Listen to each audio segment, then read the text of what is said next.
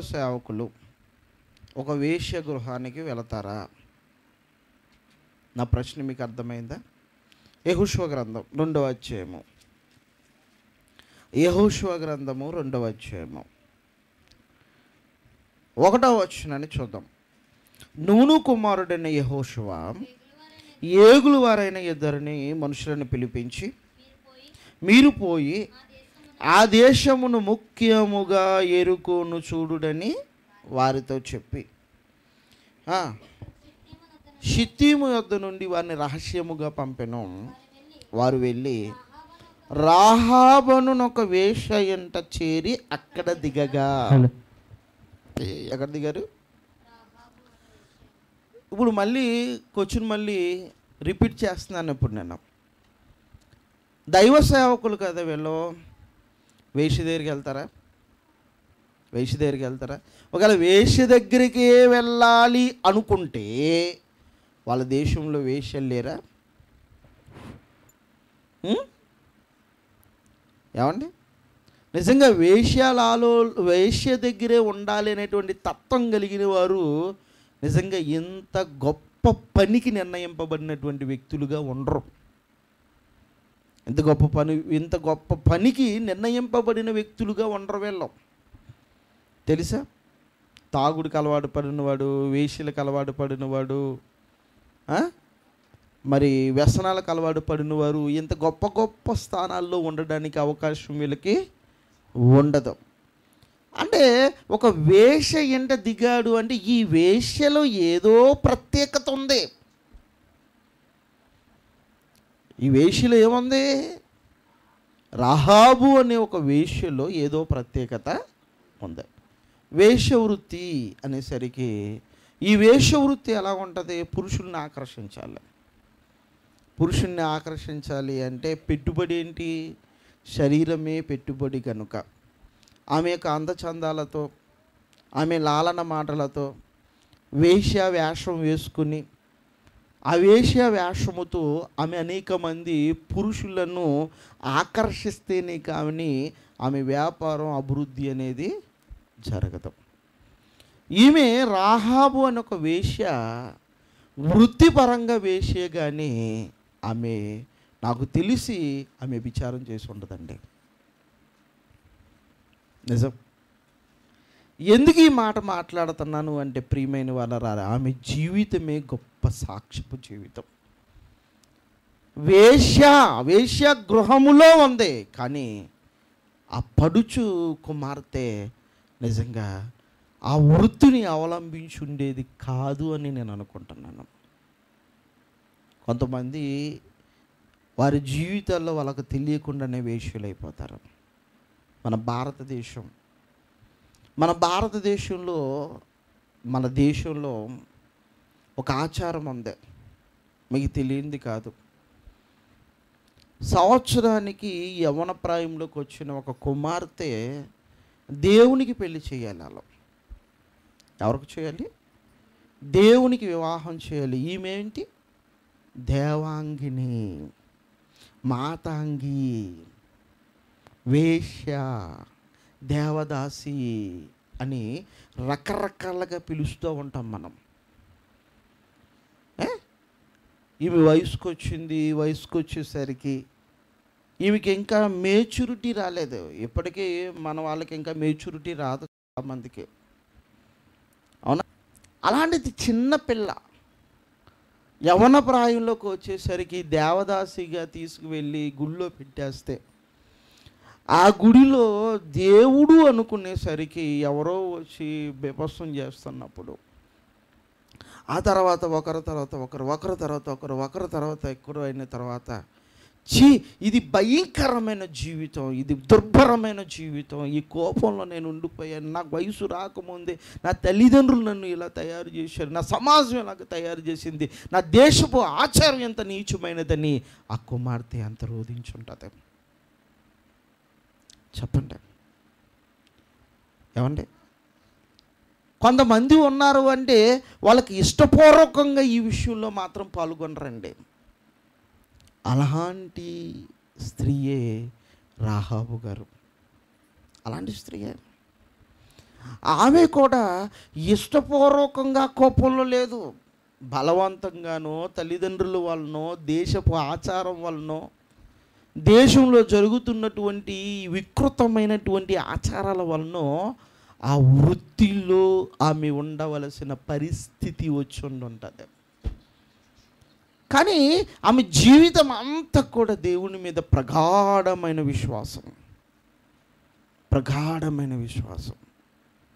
ఇదిగో ఎక్కడో ఈ- ఐగుప్తు దేశంలో బానిసత్వంలో నాలుగు వందల సంవత్సరాల బానిసత్వంలో ఉన్నప్పుడు ఈ బానిసత్వంలో ఉన్నటువంటి ఇజ్రాయిలీలు ఎవరైతే ఉన్నారో వాళ్ళను దేవుడు ఎన్నో అద్భుతాలు చేశాడట.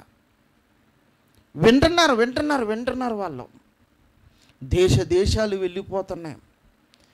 ఎక్కడో ఎరుకో ప్రాంతంలో ఉన్నటువంటి ఒక వేష దైవజనులకు వాక్యం చెప్తుంది. అయ్యా మీరు నమ్ముకున్న దేవుడు సామాన్యమైన దేవుడు కాదు. అర్థమవుతుందా? ఆమె వేషే కదా ఈ మాటలన్నీ ఆమెకి ఎలా తెలుసు? దేవుని మీద అంత విశ్వాసం ఏంటి ఆవిడికి? ఎంత గొప్ప విశ్వాసం చూడండి యహుష్వ గ్రంథంలో అద్భుతమైనటువంటి మాటలు. యశువ గ్రంథంలో అంత గొప్ప విశ్వాసంతో ఉందో చూడండి. సాధారణంగా క్రైస్తవులకు కూడా ఎంత విశ్వాసం ఉండదండి. నమ్ముకున్న వాళ్ళకు కూడా ఎంత విశ్వాసం ఉండదు. ఆమె విశ్వాసం చూడండి ఒకసారి. ఆ రెండవ అధ్యాయము పదో వచ్చిన ఆ వేగులు వారితో చెబుతుంది ఏమన్నా తెలుసా? మీరు ఐగుప్తు దేశములో నుండి వచ్చినప్పుడు మీ ఎదుట యహోవా ఎర్ర సముద్రపు నీరుని ఎలాగ ఆరిపోజేసెనో? ఎలా ఇలా గుర్తుండంటదా ఇలా గుర్తుందా? ఇజ్రాయేలీలు గుర్తుందా? వాళ్ళ కళ్ళ ముందు జరిగినటువంటి వాస్తవం ఎర్ర సముద్రం ఏంటండి ఒక సముద్రం రెండు పాయలైపోవడం ఏంటండి.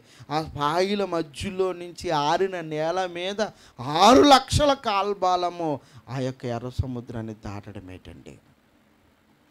ఇది ఇజ్రాయేలీలు మర్చిపోయి ఉండొచ్చేమో కానీ ఒక వేశ్యకు మాత్రం జ్ఞాపకం ఉంది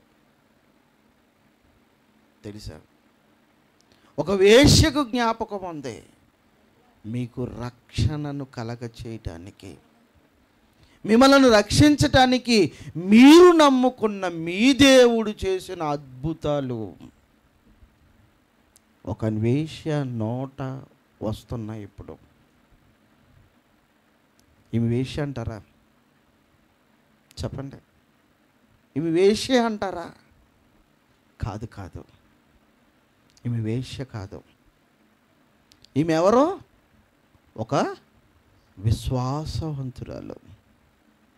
చూసారా ప్రియమైన వారు బాగా ఆలోచించండి బాగా ఆలోచించండి. అక్కడ వేగులు వారిని దైవజనులుగా డిక్లేర్ చేశాను.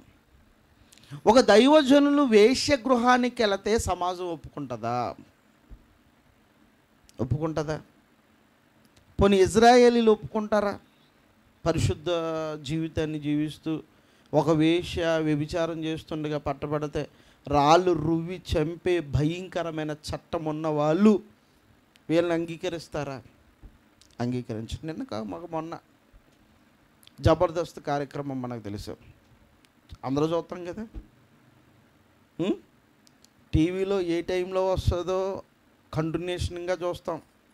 ఒకవేళ అది మిస్ అయితే మళ్ళీ సెల్లో పెట్టుకుని చూస్తాం. ఏంటిది?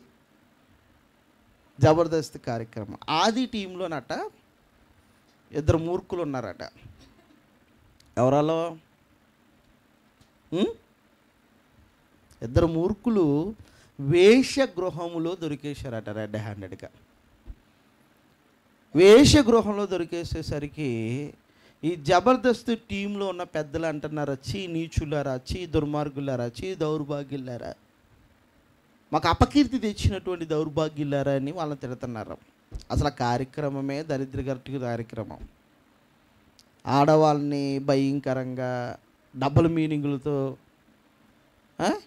అశ్లీలతమైనటువంటి డైలాగ్స్తో అశ్లీలతమైనటువంటి డబుల్ మీనింగ్తో మాట్లాడేటువంటి నీచులైన వాళ్ళకే ఇలా ఉంటే పరిశుద్ధులకి ఎలా ఉంటుంది చెప్పండి. అలాంటి వాళ్ళకి ఎలాగుంటే పరిశుద్ధులకి ఎలాగుంటుంది? అసలు అంగీకరిస్తారా? కానీ వీళ్ళు ఎంక్వైరీ చేస్తున్నారు. వీళ్ళు ఎంక్వైరీ చేస్తున్నారు. ఏమనో తెలుసా? వీళ్ళు ఎంక్వైరీ చేస్తున్నారు. విశ్వాసం ఎవరిలో ఉందో మాకు సహాయము చేసేటువంటి వాళ్ళు ఎవరు? పరాయి దేశములో సైతం పరాయి దేశంలో సైతం దేవుని నమ్ముకున్న విశ్వాసవంతురాలు ఎవరు అని ఎంక్వైరీ చేస్తుంటే అక్కడున్న వేష్యలు చెప్తున్నారు. ఒక ఆవిడ ఉంది. ఆవిడ నిరంతరం దేవుని కోసం చెప్తూ ఉంటుంది. నిరంతరం దేవుని మాటలే మాట్లాడుతూ ఉంటుంది. వృత్తి ప్రకారంగా వేష్య అయినా ఆమె వేష్యకు ఉండవలసిన లక్షణాలు ఏమీ లేవు. ఆమెకు దైవచనురాలు.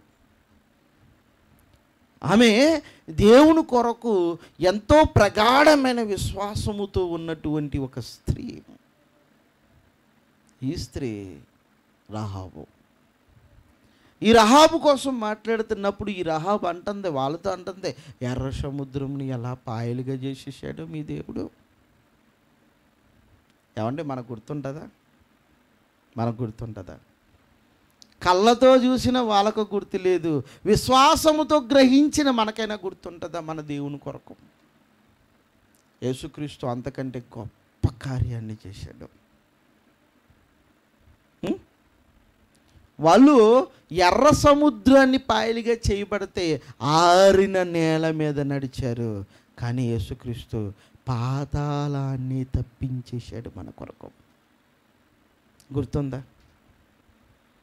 విశ్వాసం ఉందా ఒక వేష్యలో ఉన్న విశ్వాసం ఉందా నేను అంతవరకు ఎందుకు బయట వాళ్ళ దగ్గరికి వెళ్ళి అడగండి. బయట వాళ్ళు ఏమంటారో తెలుసా? మీరు దేవుణ్ణి నమ్ముకున్నారమ్మా. దేవుణ్ణి ఎప్పుడు నమ్ముకున్నారు? అంటారా అంటారా? అంటే మీరు నమ్ముకున్నవాడు ఎవరో?